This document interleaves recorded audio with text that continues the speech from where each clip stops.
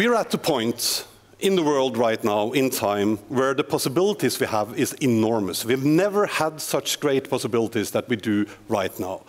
We also have great challenges to take part in. We have challenges all over the place that we need to solve, and technology can be part of that solution. But it's amazingly important that we are responsible for our actions. We need to be responsible human beings, making the best out of the opportunities we have to solve the challenges we have.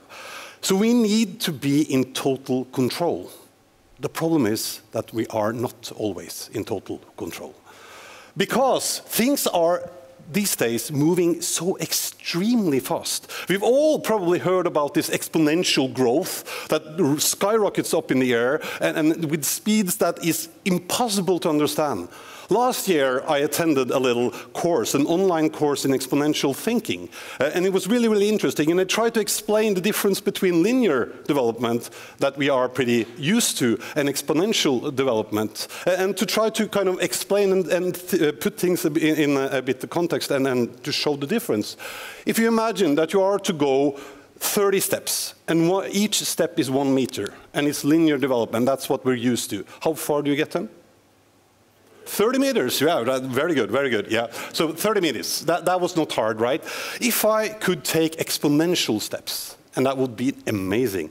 And the first step I took was one meter, and I then took 30 steps. Do you know how far I'll get then? 26 times around the world.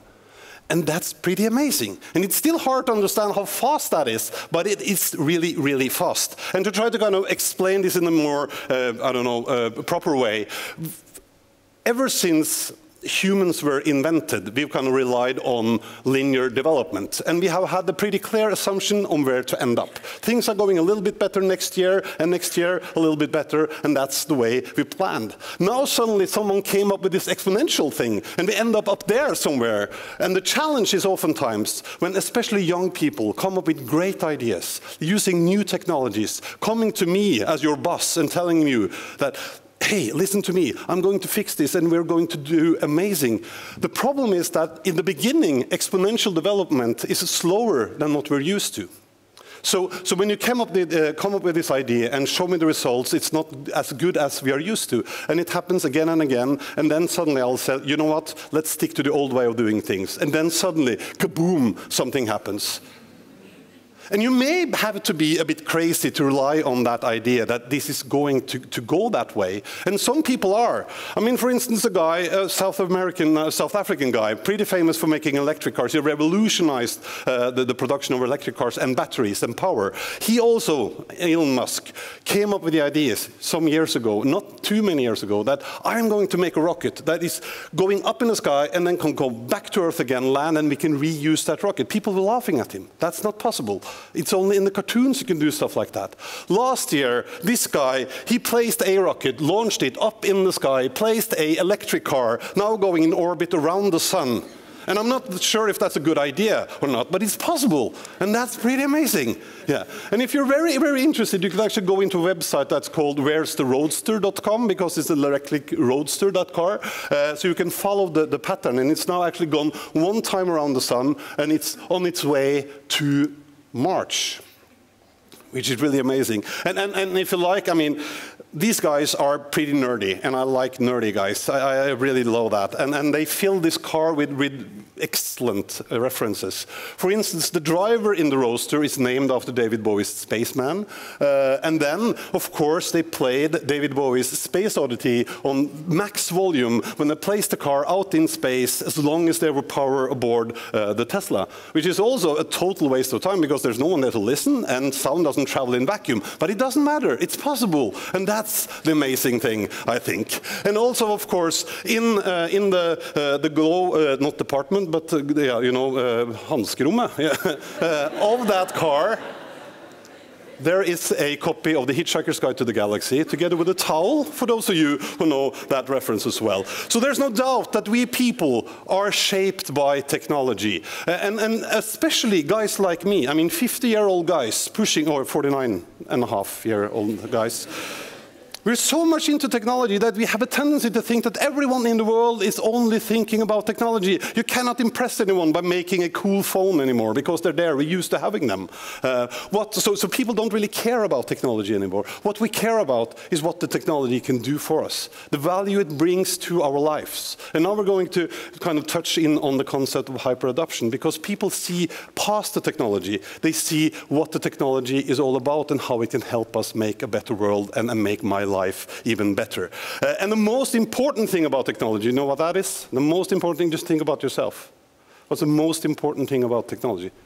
that the shit works. I mean, there's nothing more annoying than technology that doesn't work, right? Yeah, so make sure it works. That's very, very important. So, uh, Hyperadoption, this concept of hyperadoption, I learned it from a very brilliant guy from Forrester Research. His name is James McQuivey. He's written a book about it, a bunch of, of talks and, and, blog posts and articles about hyperadoption. But it's about the concept that we people now, we understand the technology and we look past the technology and to see what we can use it for. Uh, and to kind of experiment a little bit with that, I, for a few years ago, I asked 1,000 people if they were willing to have a chip implemented underneath the skin if it was not dangerous. That was the only thing I said. Anyone here care to have a chip implemented underneath their skin if it's not dangerous? Hand in the air. Yeah, not so bad, right? Yeah, 13% in my, my survey said that that sounded like a good idea. And the interesting thing about that was when I started to talk to these people, none of them talked about privacy or tracking or surveillance and all that stuff. Only thing they were into was that would be so cool because I always tend to forget the key to the gym. I could start my car, I could pay in the store, I can open my door. People had a pretty clear idea of what they could use that technology for. And then some guy told me that, you know, that you can actually have a chip implemented underneath your skin if you care. Uh, so I went to Stockholm, uh, to a place called Epicenter in Stockholm. Um, there's a project there called uh, Bio Nyfiken or Bio Curious. and the guy running that project, Hannes, looks really, really like an ordinary guy, completely crazy. I love that guy. He has so many great ideas. And he asked me, do you want a chip underneath your skin? And, and before I knew it, I was in a taxi going to the dodgy end of Stockholm Centrum uh, to a piercing studio for the first time in my life. I met a piercing artist there called Chai. He had the vampire teeth, pointy ears, and a, a split tongue. Very nice guy, very, uh, truly a nice guy. And, and um, I ended up uh, like this. So if you're a bit weak-hearted, please look away now. uppe i det. Då kör vi. Ta en pust till. och pust ut. Färdigt. Fortsätt andas. Keep on breathing, he says. I was pretty pale. I'm not a big fan of needles, uh, and I did not know that he was going to shoot as well. And, and I asked him in forehand, uh, does it hurt? And he didn't really answer to that. And it did hurt uh, a lot, uh, I would say. When I came to my senses again, he turned around and on the back of his t-shirt it said, of course it fucking hurts. What do you think? um, so, but anyways, now I have an NFC chip in my hand. It's the same thing that you have in your access card at work or uh, at your school. Uh, and amongst other things, I can do this. Uh, I can use the printer in uh, my office. I can unlock my, uh, my little locker. I can pay in the cantina or at the cafe, uh, both in Sweden and at the office here in Norway. and I can also have a new version now. I actually have three chips now, kind of gotten into a thing for me. that, that makes light when, when it's connected to something. Really good party trick, actually. Uh, and, but this technology is not new technology. This is it's exactly the same technology as we use for, for ID marking cats and dogs and stuff like that. So I also put in my owner's information on my chip. So, so if you find me on the street, just call a veterinarian. They'll scan me and they know who owns me. No problem. And, and the fun thing is that we have a cat. So me and our cat, we can also open the cat hatch, which is really, really important. Uh, but then again, the most important thing about this is not me being able to pay for my coffee in the cantina or open the door. Uh, the next generation of these chips are the most important thing because these guys are working towards the goal of making microchips that can be inside your body, monitoring your pulse, your temperature, your sugar level, whatever. And then once a week, you can just tap your phone and it will actually upload it to a uh, artificial intelligence-based platform that knows you, that knows me, that compare my values to what I should have. And and if I'm not good, I could have a, a prescription uh, at the uh, pharmacy or just push a button and it will be delivered at my door by drone, maybe. That would be cool. But then again, not so important because being fortunate enough to live in Norway, we have doctors on basically every corner. But just imagine what this technology could do for people in places where they do not have a doctor uh, in the same neighborhood. Uh, it could make, I mean, healthcare yet another thing. So that's why I like to be part of stuff like this, to really try out new technology.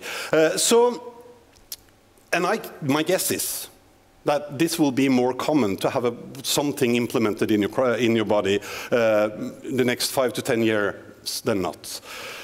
So back to my survey. I asked people in 2015, and 13% said in my survey that that sounded like a good idea. In 2018, late that year, a guy called me. He was doing his master thesis at uh, the university in Agder. And he had asked the same question to, uh, question to the students there.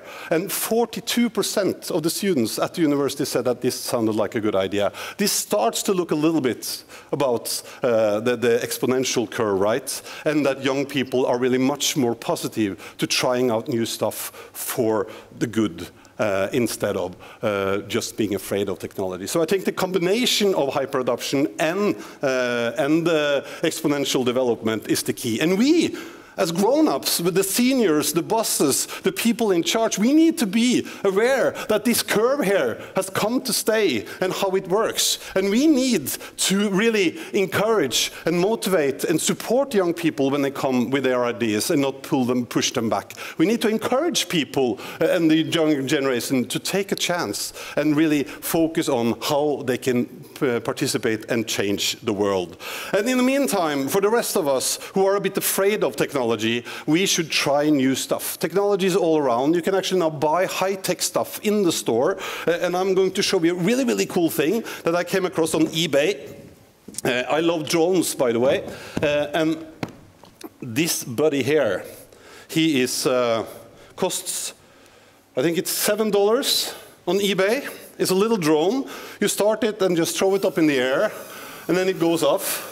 And the cool thing is that it's filled, filled with sensors, so you can just touch it, and then it will move backwards. So here we go. Play around with some cheap technology. Oh, that didn't work. but that's okay, because I have 17 more to go. Yeah? And, and if you get one, just throw them up in the air.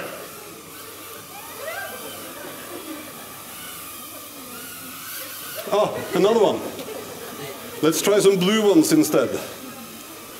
Isn't it beautiful?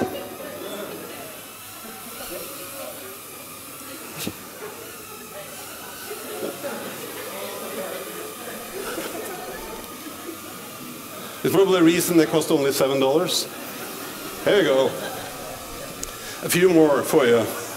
That's fun. Now it starts to look like something here, right? Yeah. Ah, here we go. So, as you fly around with them, please promise me that the grown-ups here support the young ones to really take a chance, to follow the dream, to support them, and to be a bit crazy about what's going on. And, and everyone here should really, really follow your dream. And this is why I think that hyperadoption will change the world. Thank you so much for your attention. Thank you.